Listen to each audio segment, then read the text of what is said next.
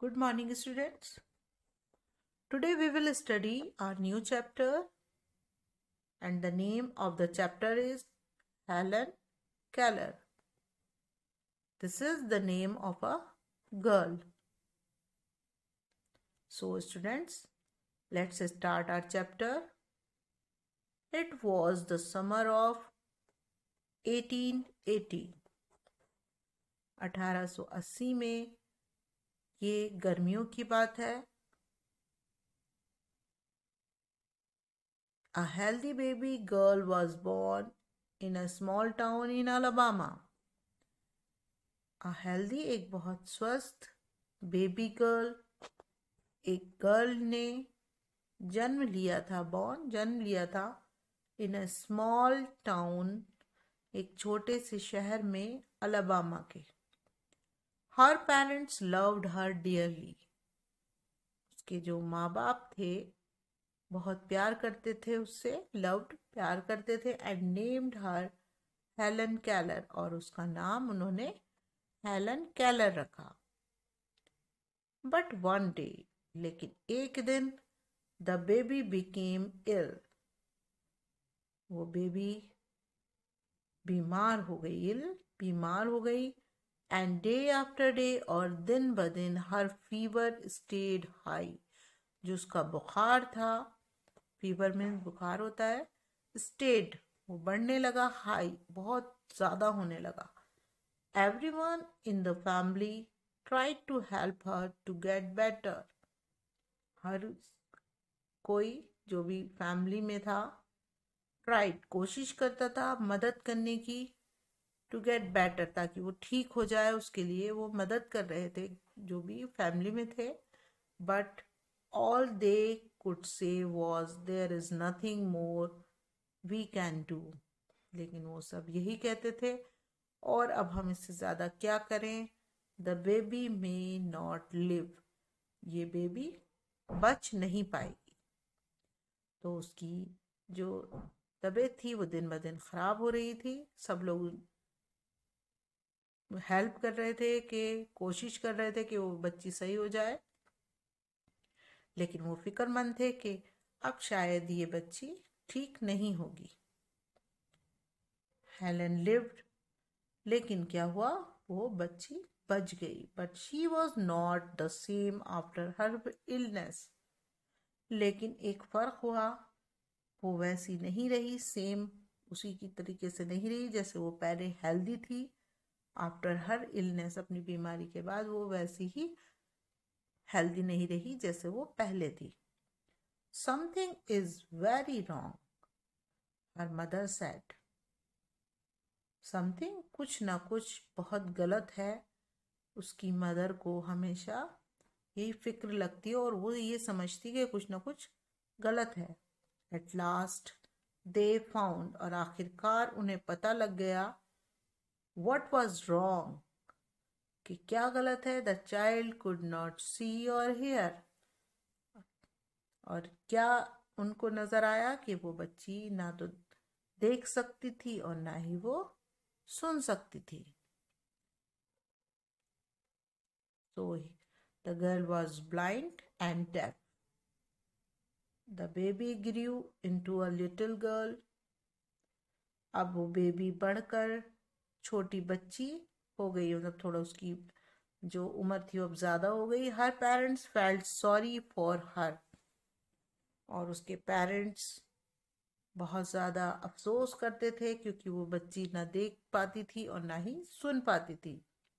Helen often cried अक्सर Helen चिल्लाती रहती थी and held on her mother और अपनी मदर को पकड़ लिया करती थी। Give the poor child what she wants her father would say उसके जो फादर थे, वो अक्सर परेशान होकर यही कहते थे, इस बच्ची को वो चीज़ें दो जो ये चाहती है। तो हेलन कुड नॉट हियर और सी माना कि हेलन ना तो सुन सकती थी और ना ही देख सकती थी। She was a bright little girl लेकिन वो बहुत ज़्यादा बुद्धिमान थी। उसका जो माइंड था वो बहुत अच्छा था। Some people thought Helen could not learn anything कुछ लोग सोचते थे कि हेलन कुछ भी नहीं सीख पाएगी। Her mother did not agree लेकिन उसकी मदर एग्री नहीं करती थी। इस बात से सहमत नहीं थी हेलन इज़ वेरी स्मार्ट। मेरी जो वो बेटी है, वो बहुत स्मार्ट है। उसकी मदर हमेशा यही कहती थी। She said and it added वो कहा करती और कहती the problem is how can we reach her she is locked up inside herself लेकिन प्रॉब्लम ये है कि हम उस तक कैसे पहुँचे? क्योंकि वो लॉक्ड है। इनसाइड हर सेल्फ अपने आप में ही लॉक्ड है। तो वो ये नहीं समझ पा रहे थे कि हम इस बच्ची की कैसे हेल्प करें, क्योंकि वो बहुत ब्राइट माइंड की है, लेकिन उनकी कुछ समझ नहीं आ रहा था। Helen began to grow wild Helen ज़्यादा से ज़्यादा वाइल्ड यानी कि बहुत गुस्से वाली होने लगी। She would not let anyone comb her hair वो अपने बाल जो है कॉम नहीं करने देती थी किसी से भी। Her clothes were always dirty और उसके जो क्लोथ्स थे वो हमेशा डर्टी रहते थे। शी वॉज़ ऑफन एंग्री उसे हर वक्त गुस्सा आता रहता था। Sometimes she even lay on the floor and kicked her feet और कभी कभी वो लेट जाया करती थी फर्श पर और अपने पैर जो है वो फर्श पर मारा करती थी।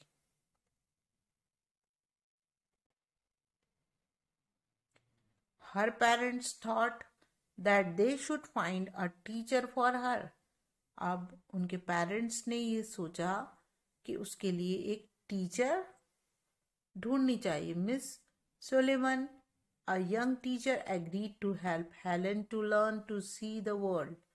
और एक जो यंग टीचर थी मिस सुलेवन वो एग्री हो गई, यानी मान गई हेलन को सिखाने के लिए और इस दुनिया को देखने में उसकी मदद करने के लिए। Miss Sullivan gave Helen a doll Miss Sullivan ने हेलन को एक डॉल दी। D O L L spells doll और उन्होंने उसकी स्पेलिंग बताई। She spelt the word with her fingers into Helen's hand उन्होंने इसकी स्पेलिंग फिंगर्स से हेलन के हैंड पर राइट की। She made the letters with special hand signs और फिर उन्होंने कुछ स्पेशल साइंस के साथ वो लेटर्स स्पेल किए। Helen copied her teacher and spelled doll to Helen ने अपनी टीचर को कॉपी किया जो उसकी टीचर ने जैसे उस डॉल को उसके हैंड पर कॉपी किया था, ऐसे ही उसने डी ओ एल एल को अपने हैंड पर स्पेल यानी स्पेलिंग बनाई। But she did not understand what she was doing लेकिन वो ये नहीं समझ पा रही थी। अंडरस्टैंड मीन्स होता है समझना कि वो क्या कर रही थी। Helen like Miss Sullivan Helen को बहुत पसंद आई थी Miss Sullivan she was strict जो उनकी टीचर थी हेलन की, वो बहुत ज़्यादा स्ट्रिक्ट थी बट काइंड लेकिन बहुत दयालु भी थी. She spelt a lot of words for Helen और उन्होंने स्पेलिंग की, बहुत से वर्ड्स की हेलन के लिए ऑन हर हैंड उसके हैंड पर. डे एंड नाइट, यानी दिन और रात। यानी जो उन्हें सिखा रही थी तो वो पूरे टाइम उसके लिए स्पेलिंग्स उसके हैंड पर बनाती रही टू मेक हेलन अंडरस्टैंड ताकि हेलन हर बात को समझ सके।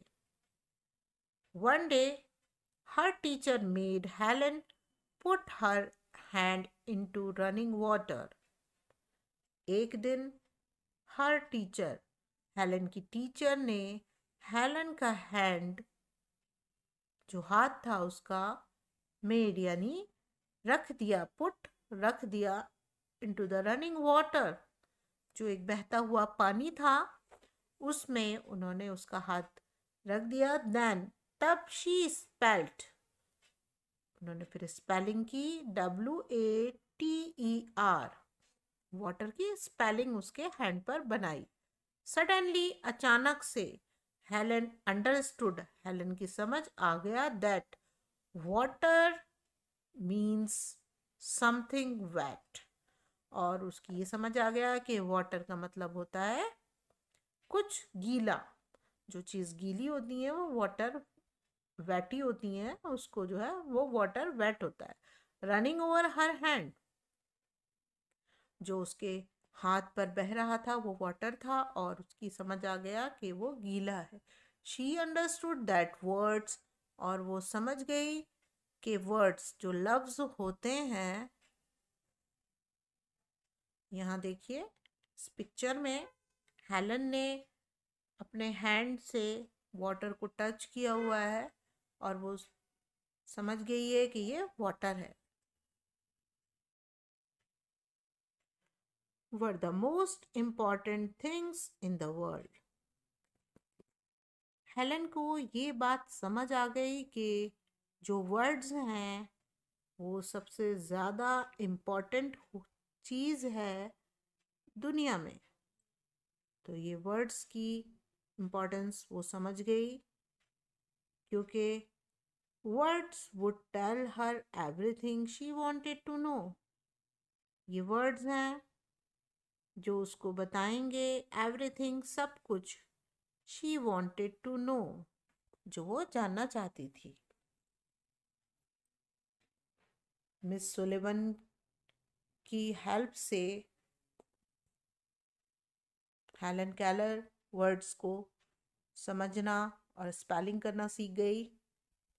इस तरह उसकी बहुत बड़ी प्रॉब्लम सॉल्व हो गई और वो सब कुछ समझने लगी।